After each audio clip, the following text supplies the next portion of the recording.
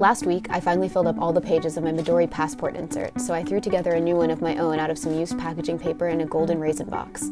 It was so easy and really fun and saved me $7, so I thought I'd go ahead and make some more on camera so you can make them too. Thanks for watching, and I hope you enjoy.